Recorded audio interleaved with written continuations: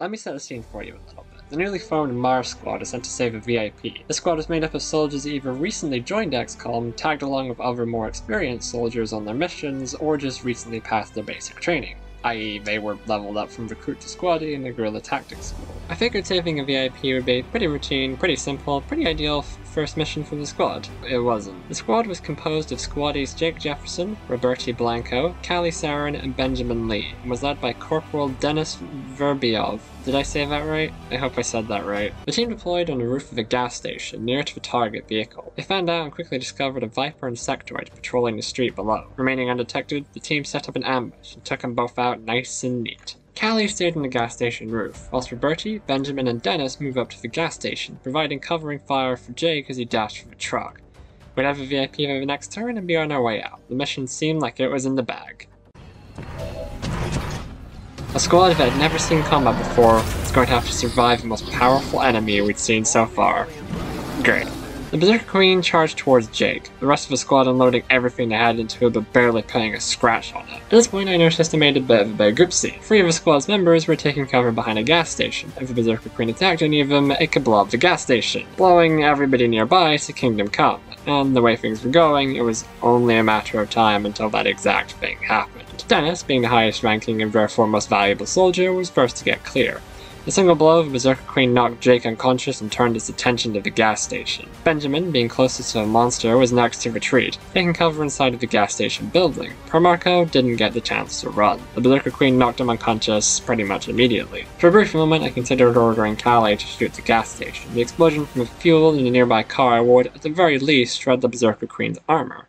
However, if Marco's so close, he def he would he would definitely die if I did that. It might have been it for the damage, but I figured it probably wouldn't do enough to justify killing one of my own guys. So instead I ordered Callie to throw a flashbang grenade, which would hopefully stop the Berserker Queen from hurting any more of my guys. I figured Benjamin would be the one it went after next, so I had Dennis use Aid Protocol on him. It's almost as if it knew what I was doing because it immediately turned around and went for Dennis. Unable to get a shot, Benjamin instead threw a grenade, shredding some of the Berserker Queen's armor. Unfortunately, the grenade also set the gas station on fire, so that meant poor Marco was sleeping on a ticking time bomb. Uh, whoops. I considered sending out Benjamin to rescue him, but figured they'd probably both end up dead. To this point, I began to panic. It definitely felt like we were running out of options. I could have hacked the truck door open and just got everyone to book it to the evac, we were running out of time after all. However, I figured the plan would just make the VIP another juicy target for the Berserker Queen. It's not like we could abandon Jake and Marco either. So, there's only one thing to do. Stand our ground.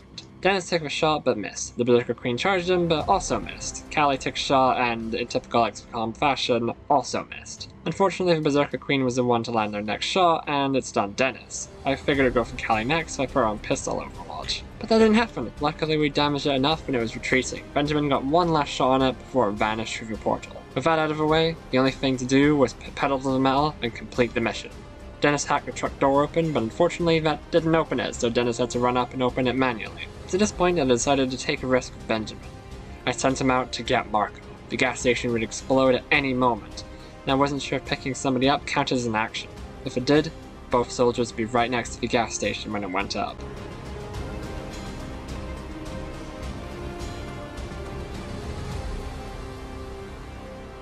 Thank God. That worked out nicely. Dennis managed to get the truck door open. Whilst the VIP dashed for the evac point, Dennis rushed to grab Jefferson. The only thing left to do was get everyone to the evac point. And yet another wrench in the works. With enemies right on top of our evac point, I got Callie and Benjamin ready to overwatch them. Two advent troopers and an officer landed. Callie got hit on the officer. I realized with only two turns left, we didn't have enough time to fight the enemies. So I had Dennis grab Jake and run for the evac point. The VIP, along with Benjamin and Marco, were able to evacuate. I was a bit worried about the officer marking anybody, so I had Callie take it out. But that didn't stop the troopers from fucking up everything. A pair of them went into Overwatch. If Dennis went for the evac, both him and Jefferson would be gunned down. And Callie couldn't kill both of them, much less evac in time. Callie was the only one who could do anything, so she had to break their Overwatch and get to the evac point all in one turn. I decided to take a gamble. I ordered Callie to move around in a U-shape. I was hoping she'd run behind cover, trigger the Overwatch, and avoid getting hit. It was her best chance, in theory. But in practice, I screwed it up big time. Callie's path wasn't going to take her behind cover, it was gonna take her over it. The advent troopers would be shooting her from point blank range, and she had no cover to protect her. I realized what was about to happen too late. Got it covered.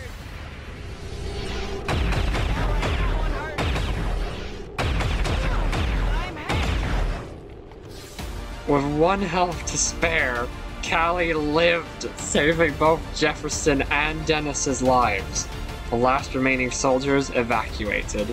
Despite everything being against them, every possible thing going wrong, my heart nearly exploding from the stress, Mars Squad had completed their first mission. And that, ladies and gentlemen, was the best mission of XCOM 2 I've ever played. What's the best mission you've ever played? Leave a lengthy anecdotes in the comments, and if you enjoyed the video, subscribe on your way down. Thanks so much for watching. Redo. The squad, the squad was comp- Ugh, I've squandered it already. Ah! Oh, I'm recording again. Okay, whoops. Providing covering fire for Jake as he dashes.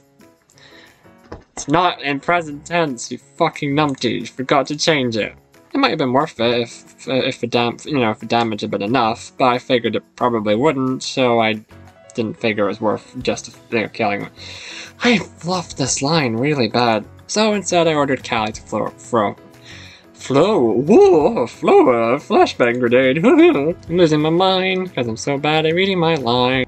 I'm able to get a shot. Lee throws a gren. Fr- it's still in present tense. Uh, unable to get a shot. Lee not Lee, it's Benjamin. Benjamin, and yet another wrench in the works.